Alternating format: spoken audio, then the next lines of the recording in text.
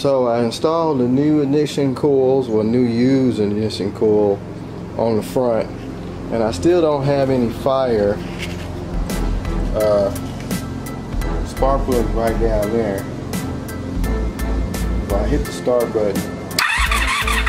Still no fire, but I have fire at the rear still, which is uh, very mysterious. So I've changed the coils around, I changed the wires around. This coil here is actually one of the coils I bought off of eBay. And I got it on the back. And if you look, got fire. But I found out that this thing has two igniter ignition boxes.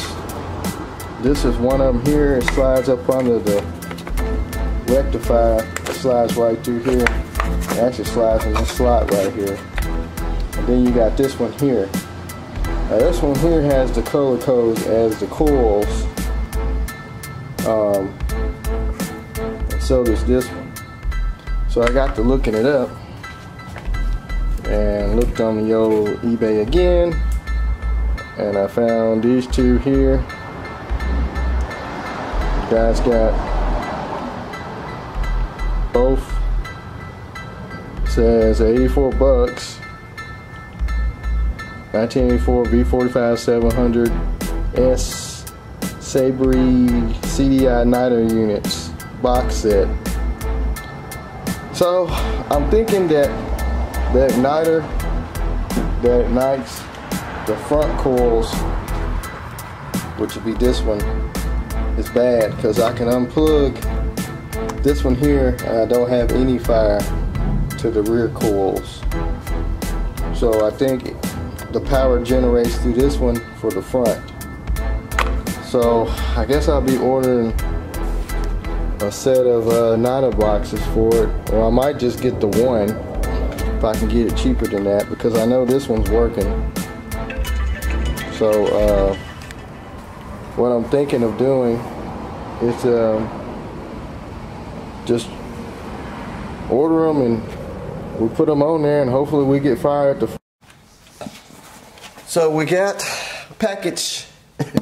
This is the igniter box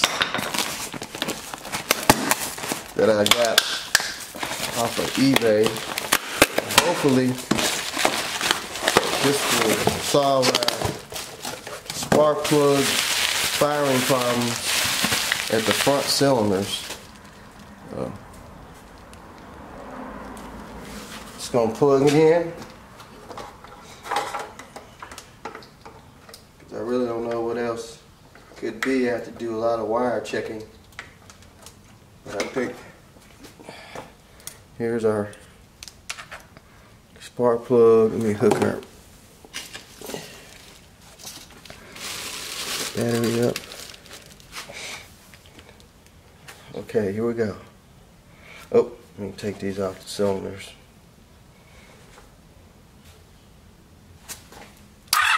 Oh yeah, we got fire on the front. Oh yeah. Let's do it again.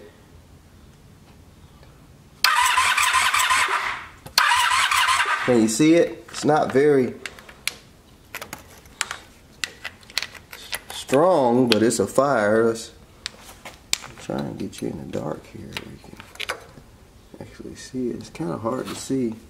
I'll tell you what, let me turn uh, light out. But we do got fire at the front. Yes. That might do something. I don't know. But we can uh, try and zoom in on it. It's still kind of hard to see, but.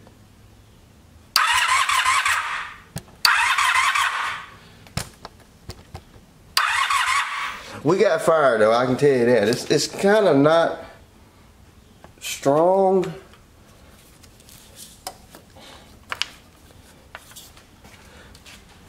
Maybe you can see it down in there because it's kind of dark. You can see it good in the darkness. So yes, we have fire. So I got the carburetors all cleaned and put back together. They really wasn't that bad. Um, the only problem with the carbs is, uh, and I'll show you, let me go get them.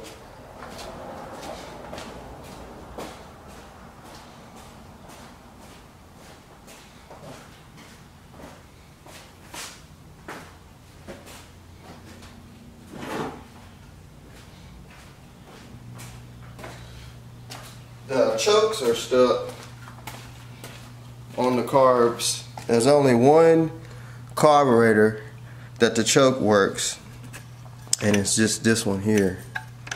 The rest of them are completely frozen. I accidentally broke the little tab off of this one that the arm pushes. That one's frozen. Uh, that one's frozen and that one's frozen. So we only have one carburetor that has an operating choke. I tried to heat this one up with my uh, mini torch to free it up and it just started melting this uh, little screw here. It's made of plastic. So if it runs and we can get it to run off four cylinders, I'll just order uh, I'll try and find these things and have to heat them up. I mean, these carburetors look good on the inside. It's like one of them had some rust in it. I think that's the one that goes on the front cylinder that we have compression problem.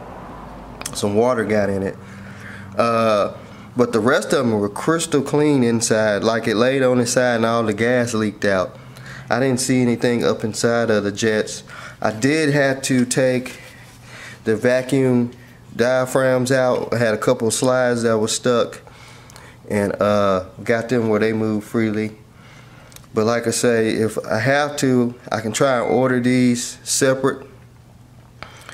I did see a set of carburetors on there need to be built, but I hate to buy a whole set of carburetors just for these choke uh, slides. So hopefully, this thing runs, I'll be more tempted to put more in it. I mean, you know, if it runs and that cylinder uh, gets compression back, we won't have to tear that head off and see what's up with it. But uh, but anyway, um, I'll get the carbs back on there sometime today, and uh, try and get some gas going to this thing. See if we can get it to hit off. I've been working on the Badger which be a video on this one. Uh, getting it back together. So try and get this one back together as much as I can and then we'll move over to the Honda. Hopefully I can get to it today and uh, we'll get it running. But we do got fire in all cylinders now so we are good to go. So just hang tight.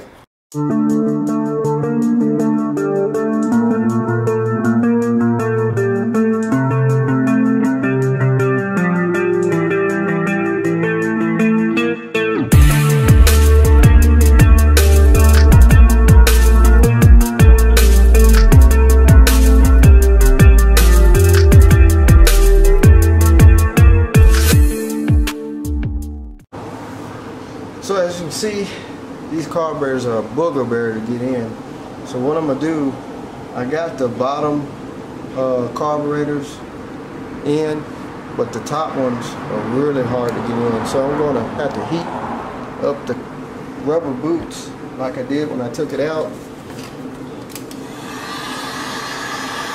I'll probably need to heat the bottom ones. That'll give me a little flexibility to uh, get them to go in the top boots. That was the only thing about these V4s with the four carburetors. The two carburetors are not too bad, but the fours, these boots are hard and anything, they are a job to uh, get the carburetors in and out.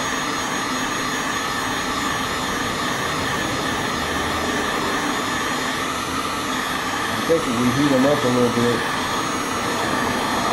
we might be able to get them go back in there. Just putting the cables on it is a nightmare. But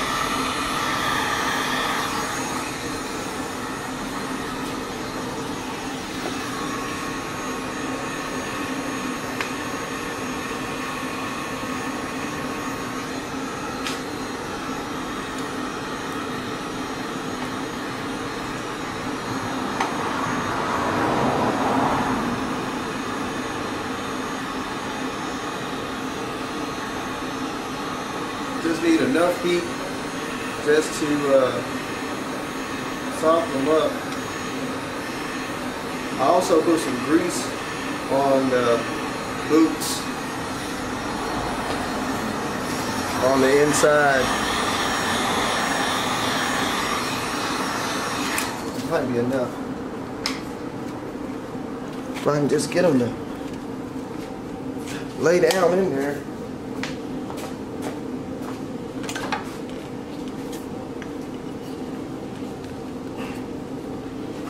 I can take a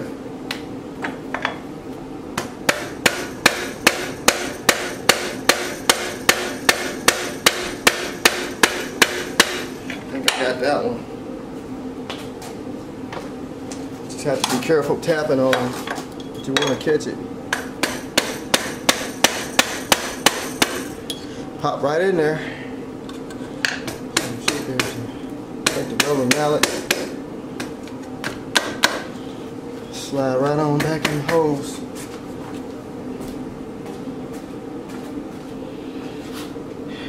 Yep, we're good on this side. So that's all you gotta do if you got one of these old bikes. Just even on a single carburetor old bike.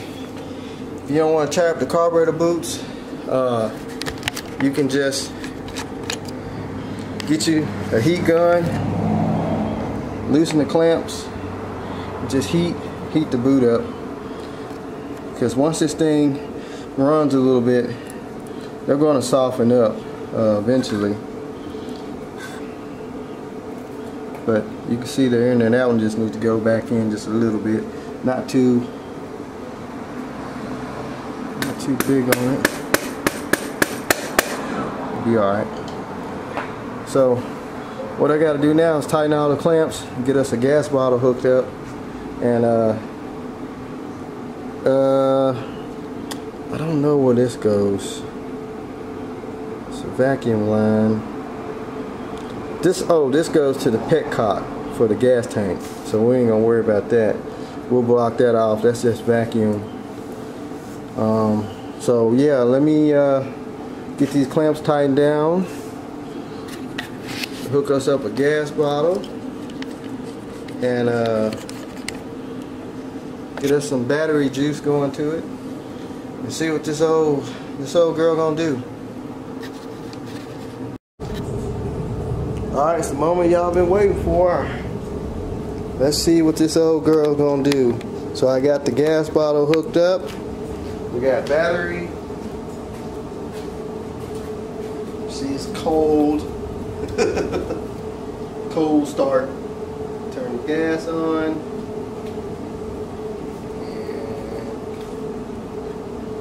we go.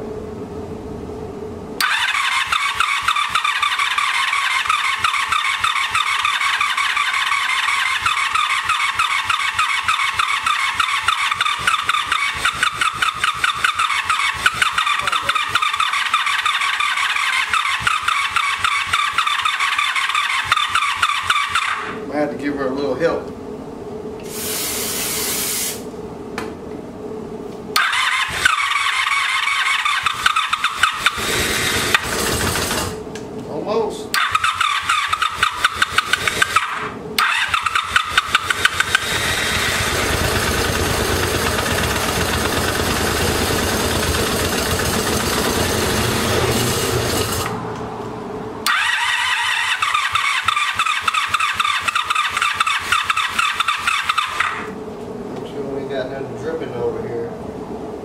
see anything.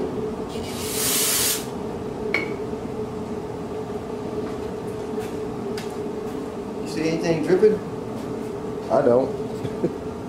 Sound pretty good when it cranked up.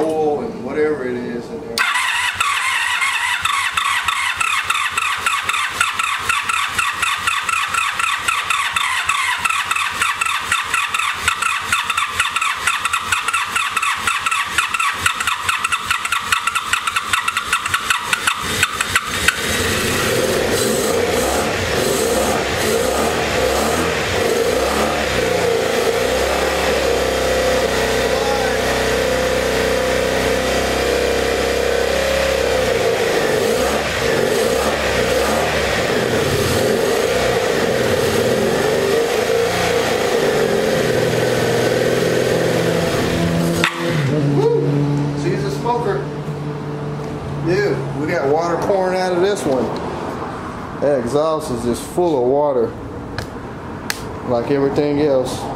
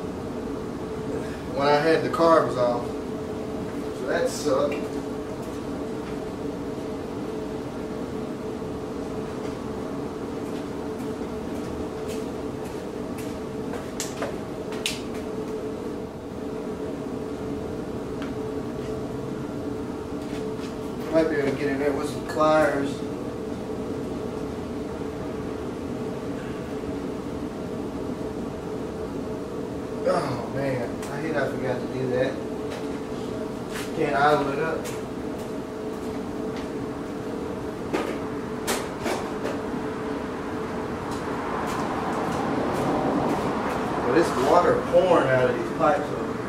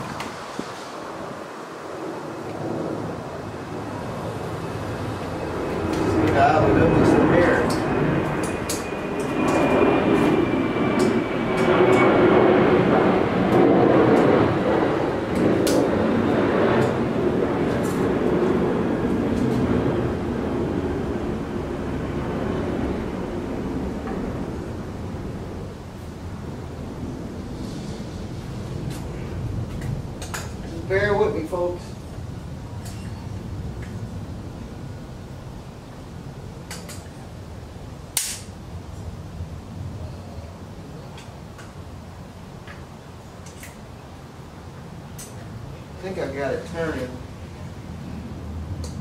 No. Might be, I can't tell.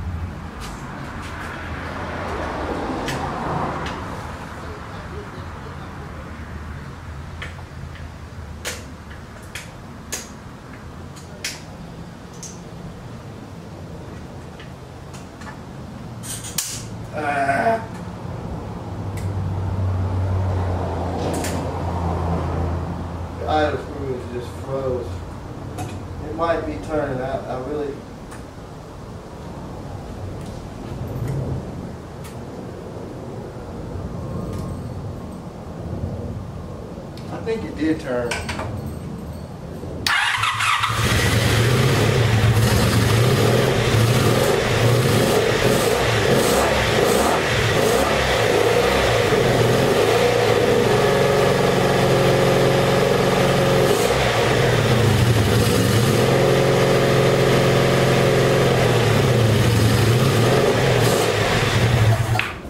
me to be on both sides. So just look at the water that's pouring out of the exhaust. I mean, that's from it leaning on this side all that time. And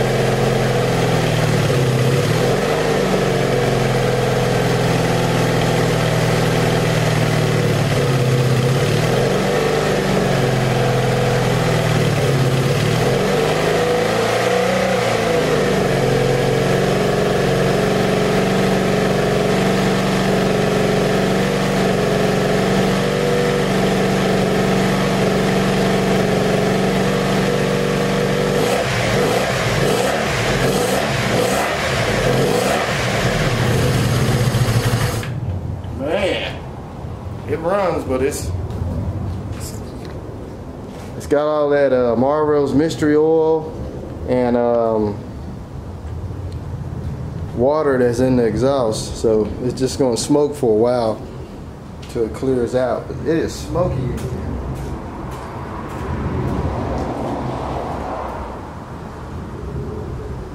But the good thing is, it's hitting, it's hitting on this cylinder because it's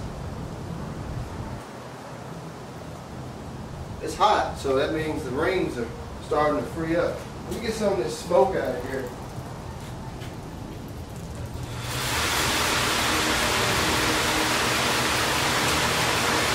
I don't know what the temperature is because the temperature fan is not working. I know it's going to answer the fan is hooked up.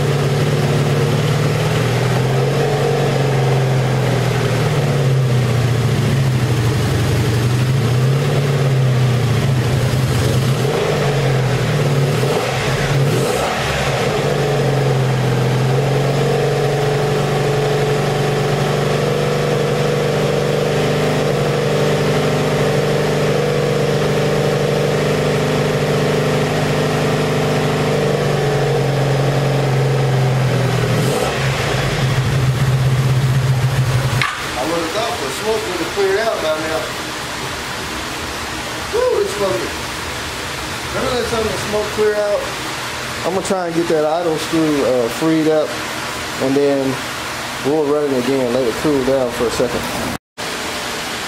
Well, I went ahead and gave it an oil change. I was gonna change the oil filter, but it's been on there so long, it snapped my oil filter wrench. So I'm gonna have to do the old hammer or screwdriver in there and get it loose, but I'm not gonna do it right now. I just went ahead and drained it out, put some fresh oil, and uh, I think I got the idle screw to turn.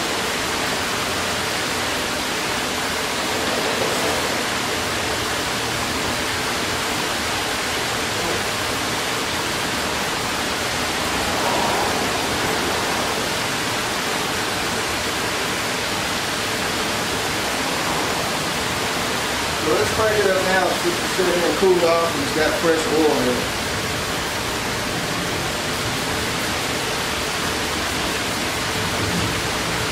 Said, I didn't want to keep running it with that old oil. But the engine sounds good.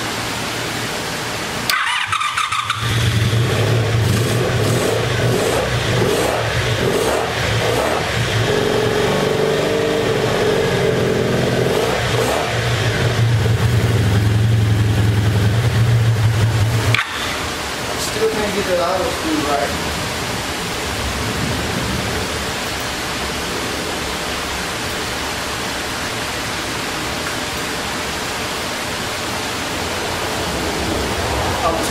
take my mini torch and heat it up, and I'm scared it might catch the carburetors on fire. But uh,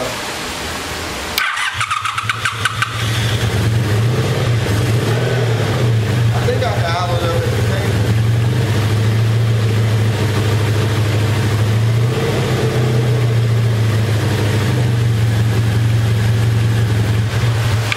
This is kind of idling up at the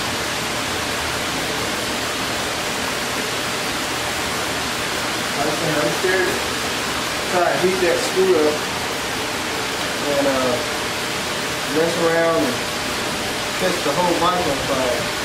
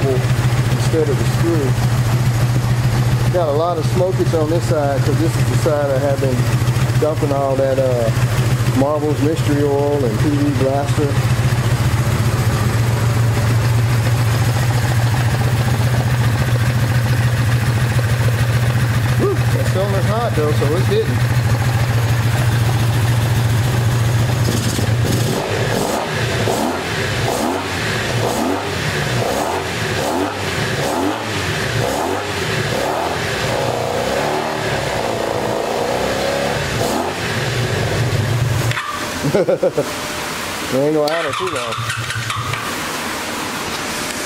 I'm gonna have to get that idle screw where it's gonna work because I got the cable out as far as it goes.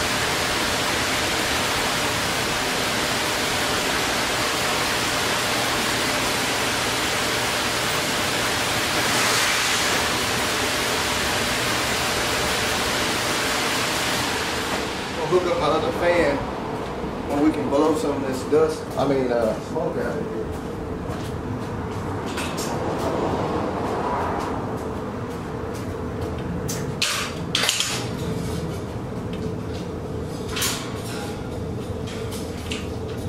Plus, I think it'll run better when you um, hook up the air box because it puts more back pressure on the carburetors.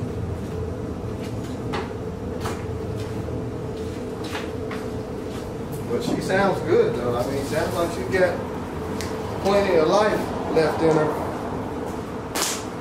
Just gonna burn out all that stuff I've been pouring down in it.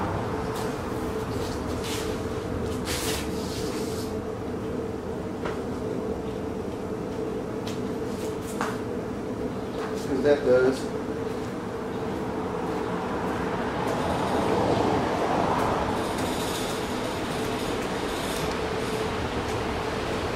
fire up again.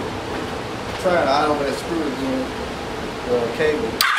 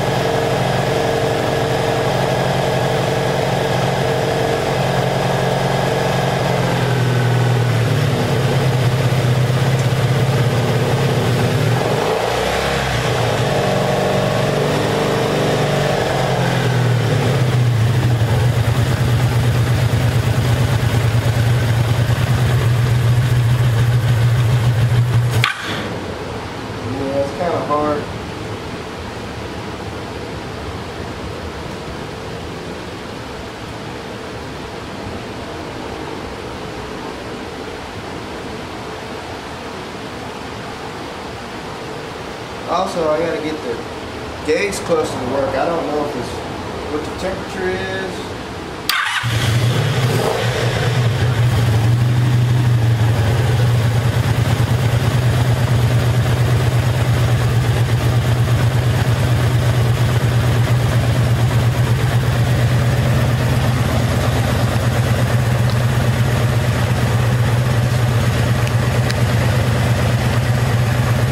Burns all that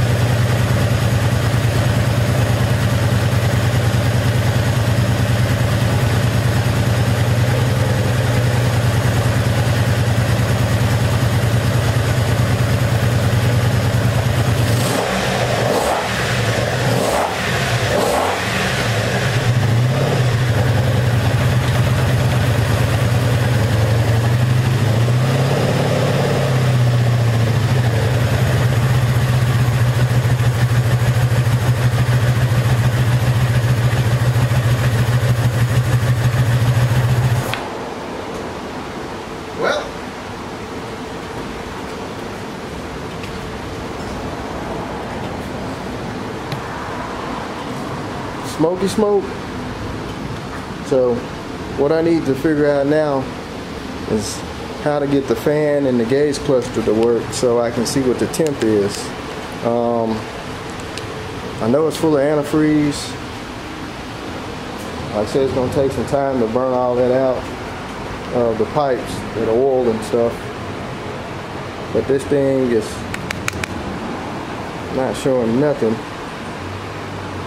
And uh, the fan hasn't kicked on, which I need to get my heat gun, temp gun, and see uh, what the temp is going on. Ooh, look at that spider come down. He's like, I'm out of here, it's too hot. uh, is the fan, I didn't check to see if the fan even turned. Oh, oh man. I think the fan is actually locked up. I forgot to check that while I had the carbs off.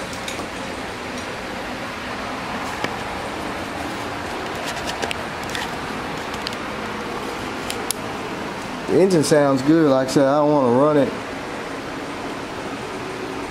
anymore. Look at all the spiders. Let's see. No, it turned. Fan turned. And spiders came up out of there, boy. They said it was too hot. Fan's not, it's not locked up. But I don't know what the temp is because the gauges don't work.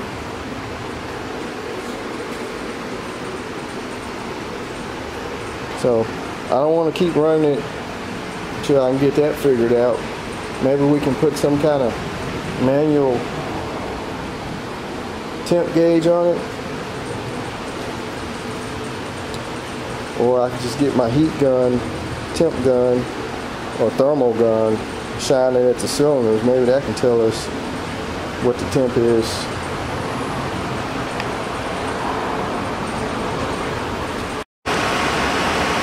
So I got the fan to come on. It says it's supposed to come on around 180 to 200. Uh, it got up to like 214. Didn't come on at all. So what I did was just unplug the temp sensor right here on the radiator, put a jumper wire in it, and the fan does work. And temperature came on down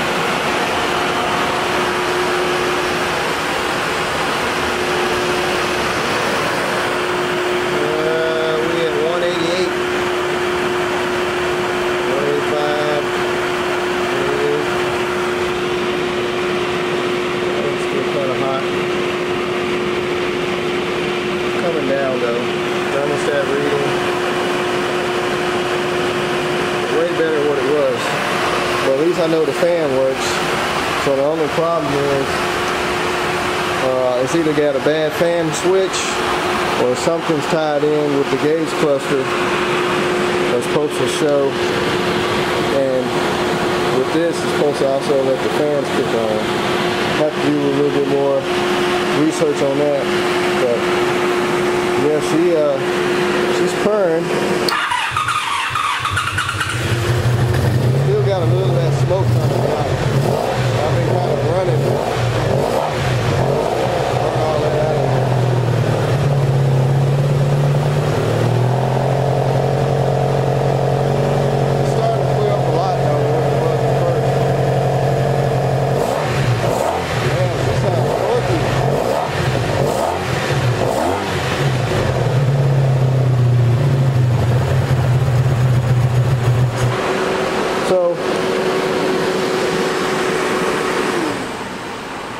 I'll just keep running it, letting it heat up, cool off. I think it's going to burn all that stuff out of there. Like I say, it's way better than what it was at first. Like I say, you couldn't even see the inside of the shop.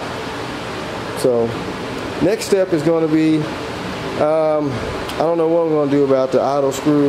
Like I said, the chokes are stuck, but right now we don't need the choke. Um, pretty sure we're going to have to fix that I'm not going to worry about that until I take the carburetors off to fix the choke. on each carburetor. Well, all three. And uh, carburetors are not leaking. They sound pretty good. Uh, that cylinder over there, it woke up. So it's hitting on all four. So next step is going to be getting the gas tank cleaned or getting another gas tank. Uh, we're going to get the key switch for it so we can put all that stuff back together. Um, put the horns and stuff back on it. And we got to fix this brake problem on the back before we can ride it.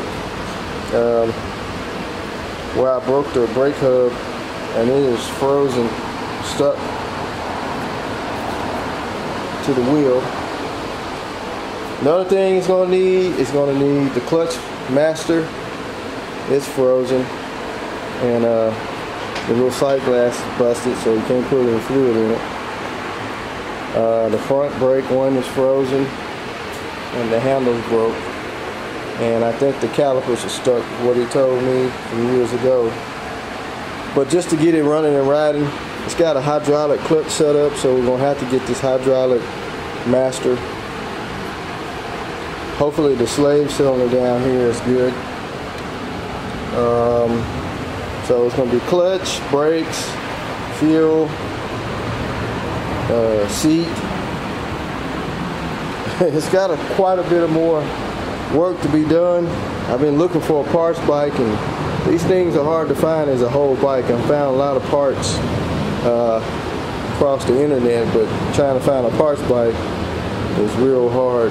Uh, I did find a bike that a guy was selling, but it just needed the carbs clean and I didn't want to just get another bike that was complete when we already working on this one and uh, we might as well get the other one running, you know, defeats the purpose of this one. Oh, and these fork seals are gone. Actually, I think that might just be the wiper seal. I did find a set of forks uh, online. So it's gonna need it's gonna need hundreds of dollars more for uh, parts, but uh, it can be saved. So I'm gonna shut the video down right here on this thing and uh, I'm gonna go ahead and uh, put everything up and we'll try and get back with it um, sometime or another uh, another day like I say I'm gonna keep running it trying to get smoke to clear out a little bit and uh, keep looking for parts so I hope y'all enjoyed this portion of the V45 well, yes, the V45 700S. and uh, I'll just uh, keep y'all informed of what else I do to it. So y'all just hang tight and uh, holler at y'all later.